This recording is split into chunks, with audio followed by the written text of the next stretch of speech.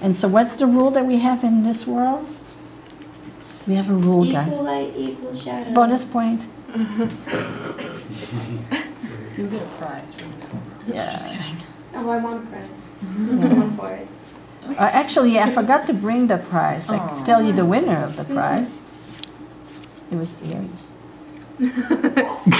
Oh, there you go. Oh, Just in case you were wondering. yeah.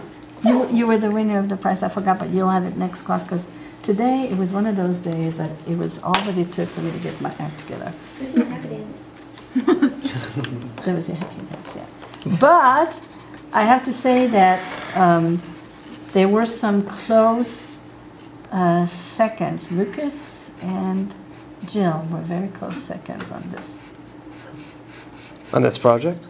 I mean, the research? On the Yeah, research. yeah, Oh. yeah.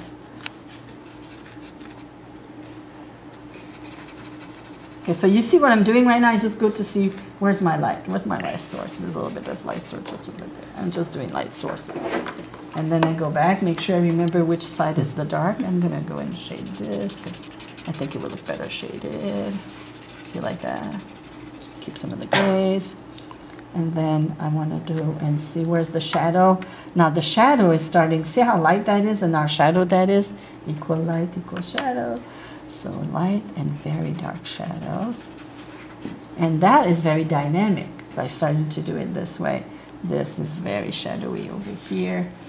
And then over here, it has some of the mid gray, but it has a little bit of the shadow. Not as strong over there. Same thing here, some there. This big ball over here has a lot of shadows underneath over here, and a little bit over there. And now, if I use one side of the paper stump for the dark. And also, what you notice here is that my paper stump is dirty, so I'm using it as a pencil. I'm actually using it, I don't reach low to put things over there, so I put that over there. I'm not touching too much these two because I like the contrast between the two of them, but I might just go back and just soften up a little bit in between over here. And you see how it starts to pop out and give it a sense of three dimension? And then you get to the underneath. What you see here is the, the light is casting a shadow and it has a definite shape over there.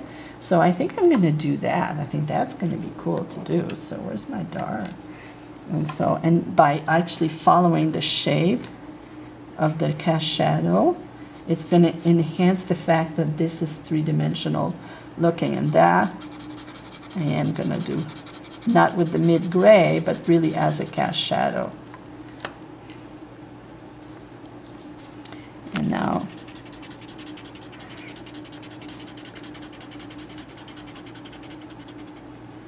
and then there's a little bit of highlight on the top of these shapes. I'm going to go back and just make sure that I hit.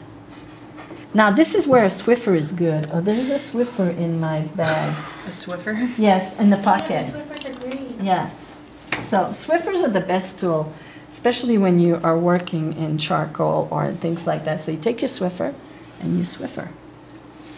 And so if you have all that excess graphite that might go everywhere, you gently Swiffer it. And now you start to have a nice thing. So here we're going to look that there's a highlight in the center and there's a gradation of light from here to here and there to there. So we're going to start with the highlight in the center. Now, one of the things that I learned a long time ago when I start to draw is if I were to draw a highlight just as a strong light, it's going to look like a cartoon. Lights and shadow gets broken up because every surface has little nooks and crannies into them. And so breaking that, as I could see it, I see the light is stronger here, here, and here, a little softer there and there and there. And that modulation gives life to a drawing. So just, just as a little tidbit. Right now I just did a line. be- And I just soften it here and there so that it does that. And then same thing here. I know that the shape will go from here to here. And what I'm going to do is I'm going to take my blender and I'm going to blend at the source moving towards the light. In, in that direction so that it creates a sense of movement that follows the movement of the shape that I'm, that I'm working on, and that also helps. And doing the same on the other side. And I just kind of deposit some of the graphite and then bring it, bring it in. This one has a little bit more shadow and on this side. And then, one thing that I see all the time is that while this has a crease of a dark shadow just next to it, nice strong highlight next to it. And that always, that's nice, I like that one. Yeah, that was yummy. You know, same thing. Now, this is not a highlight and shadow because technically these two kind of blend a little bit. They shouldn't stop because that's just the cast shadow. You know, so it kind of shows where that goes. What's your opinion between blending with the stump or with the fingers? My opinion is before you eat food, apples, or smoke a cigarette, which you shouldn't do, or anything, you should wash your hands with soap. All right. Like, do you feel like one type of smudging does it better than the other? You know what I mean? Um, well, I like using the paper stump because I like the control that I have, you know, and so I think that may just be that because I could really control where I go with it, and I also use it a bit like a drawing implement, you know. Mm-hmm. So I start doing that, and then you could, you know, here we had the shadow, so let's continue our shadow here. I'm gonna skip some of the details in there because we won't do the read thing. I'm simplifying the shape. But what I could show you is that, you know, when you have a motif that continues itself like that, you have to think about the light source, but the light source at the center will flip to the other side. Do you see what I just did? Mm-hmm. So that does that, because then the light source, you know, may come from there, from there, from there, there, there, and then, then starts to move. And then you could blend it, but see, I can't get in there with my fingers, they would be too big, so that's why I think the blender is a good tool for that. If I, if I really wanted to just do some of that. So, you know, you could always go back with your eraser and clean a shape or adjust a shape or something like that. But let's do, let's do this ball over here. Now, I won't do it. I'm gonna be drawing it, but you guys are gonna tell me what to do. If I were to draw this ball, what should I go? What's the first thing I should draw? Highlight Where? right here. Um, There's more shadow there. I say I say do the left side for the shadow. The, the highlight is right in the ball over here, but you see it differently because you may be a different angle. Oh yeah. Yeah, From so, the side, but, it looks like it's more at the top Yeah. of the ball than. but for her, and what she says, so she says it's over here. And what's the shape of the highlight? Yeah, it's like that kind of, Like that kind of, Yeah. that looks good? We're happy with that? Okay, so mm-hmm. what's my next step? Adding. Where? There's a little shadow here, and then it. arcs. A stronger shadow. Stronger shadow. At the, at the top over there? And the shadow kind of arcs? Yes. Yeah. So I'll do a shadow over there. And you said there's a shadow over here. There's a lesser one right there that kind of blends out. Yeah.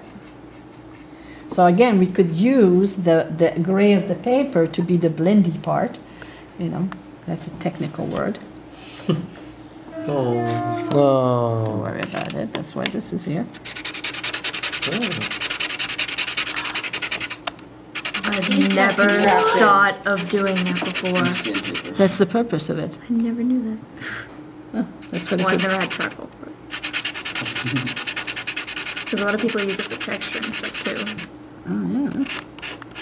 Fine. Hmm. I have like four at home. It's sandpaper. I have like four of them at home, and I never really knew what to do with them. See, Mr. Swiffer? All clean. Well, we have a little bit. I, I'm not gonna spend too much energy on, on doing that, but what we wanna do here is we could start blending our shadows at the base over here, some of that over there. And now we have a ball. Yeah. And that was done by light and shadow. So, do you really need to know how to draw? What do you need to know? How to see. how to see light and shadow. You know, you, I mean, you could, yes, there's like, this is really funky, because the shape is really funky, and I did that on purpose, you know, because I think it's fun to have funky shapes. But, you know, this shape over here that does that, and then this will be like shadow over there and there, and then more shadows like that. Now we get to see that, and then the highlight would be that. And I could just go on and on and on and on and on like that. Do you see that? Mhm.